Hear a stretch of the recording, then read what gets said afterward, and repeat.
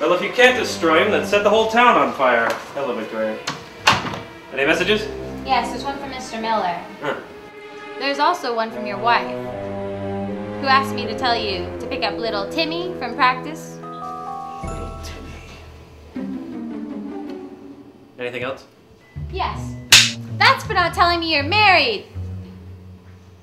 Anything else? Yes. That's for getting me pregnant. Are there any other messages? Yes. That's for getting me a fake Gucci handbag. See you at lunch. No, there's one more message. Oh, good. That one's for your evil twin. Evil twin.